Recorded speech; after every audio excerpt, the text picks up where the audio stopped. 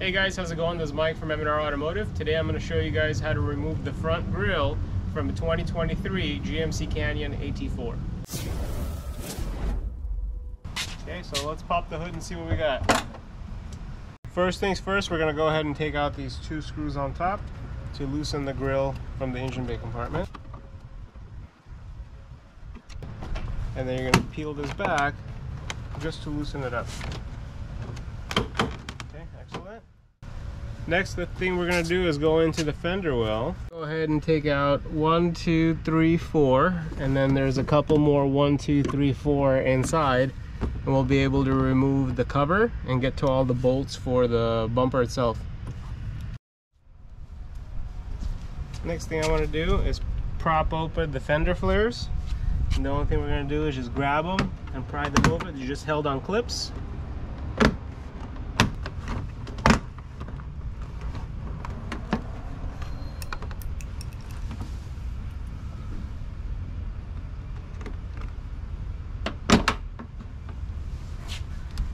We go. And we're to go ahead and remove, there's one more Torx bolt here. And that's to separate the fender from the front portion of the grill. The thing we lost, this fender flare is held up on various clips. So we did lose a couple inside, so we're gonna go ahead and just pry them out because when we are reinstalling it, it'll make it easier if it's inside the, the actual flare inside of the, as opposed to the vehicle. So we're gonna take them out and then we're gonna reinsert them into those grooves.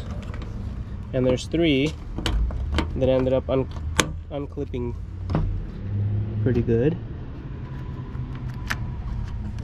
Now we're gonna go ahead and reach in from inside the fender well with a seven millimeter socket. There's three bolts that we're gonna loosen up and that's gonna pull the, the mounting plate down so that way we can unclip and separate the body panels. Uh, I'm gonna go ahead and remove it and then I'm gonna show you guys what I'm talking about so that way you guys can see which three they are.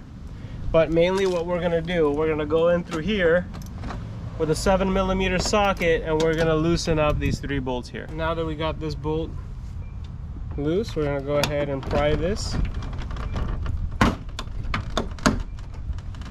So now we got this loose. And let's go on the other side and get it loose on the other end as well. Now we're gonna go ahead and pry the fender flares out.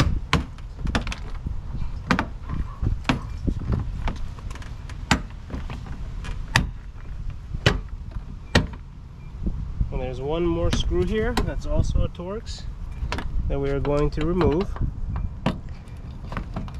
in order to separate the two body panels.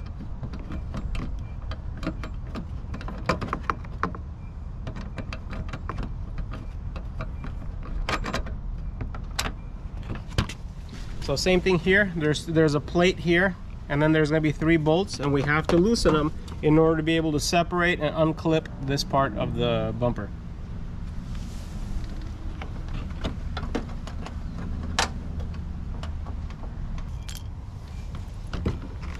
And now we're going to lift and separate these two trims.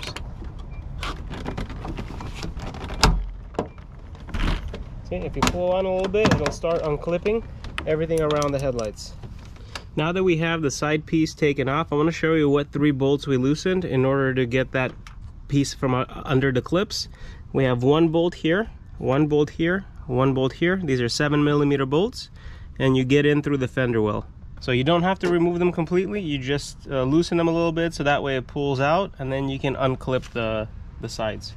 Now that we got everything on top and the sides unclipped, let's go ahead and remove some of the bolts on the bottom. So that way we can loosen it up before we take off the front end. The next thing we're gonna do is remove the skid plate from the vehicle and it's a couple of bolts, one, two, three. And then also on the back, there's two more as well. So I'm gonna get the front ones off first. This is a number 13 socket.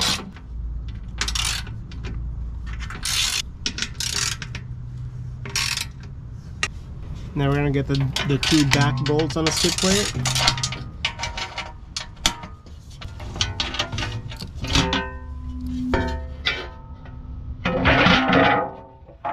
So now we're gonna go ahead and remove all the Torx screws that are holding the bottom of the bumper to the vehicle as well.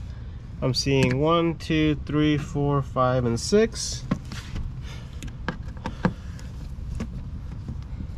So now there's three bolts that we have to remove. This is this is a 9 32nd socket and we're gonna go ahead and remove these three on both sides. This is the passenger one and then after this I'm gonna do the drivers as well. I removed these three bolts using a 9 32nd socket and equivalent to it is a 7 millimeter.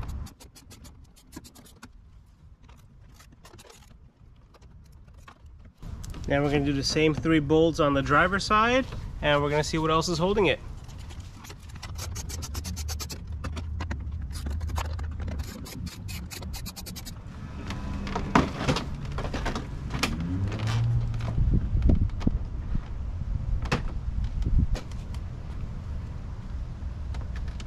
So I see there's two more clips that are holding it here.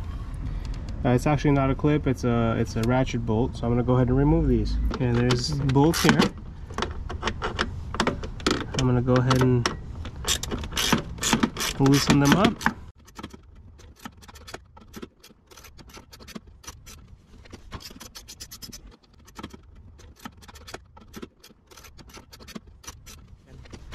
Uh, one thing we're going to want to remove is the actual fog light assembly. There's a plug here on the passenger side.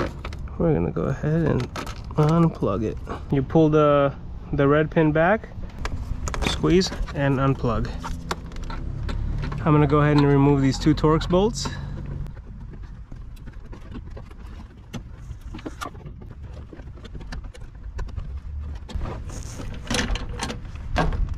And we're going to do the same thing on the passenger side.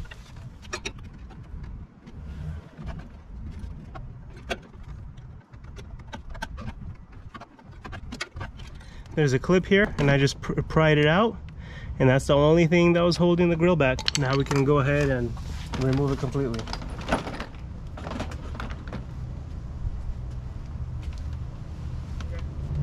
Thank you guys for watching. This is how you remove the grill from the new 2023 GMC Canyon AT4.